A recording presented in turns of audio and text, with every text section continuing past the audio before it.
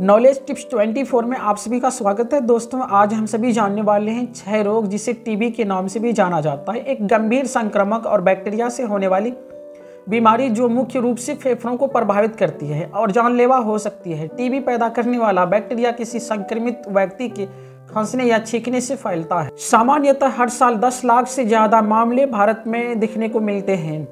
Number एक, टीके से थोड़ा सा बचाव किया जा सकता है। नंबर दो, चिकित्सा पेशेवर के ज़रिए उपाय योग्य है। नंबर तीन, कई तरह से फैलता है। नंबर चार, डॉक्टर से जाँच कराना ज़रूरी होता है। नंबर पाँच, प्रयोगशाला परीक्षणों या इमेजिंग की हमेशा आवश्यकता होती है। नंबर छः मध्यम अवधि महीने में ठीक हो सकता है। यह कैसे फैलता है, चलिए इनके बारे में जान लेते हैं। अभी तक हमारे चैनल को लाइक और सब्सक्राइब नहीं किए हैं तो कर लीजिए। खांसते या छींकते समय हवा के साथ निकलने वाली छोटी छोटी बूंदों से मुँह के लार से जूठा पीना इत्यादि से ये रोग फैल सकता है।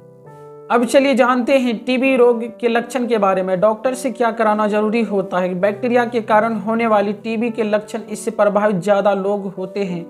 लक्षण सामने आने पर उनमें खांसी, कई बार खून की वज़न कम होना, रात को पसीना आना और बुखार शामिल होना, ये लक्षण है टीबी के।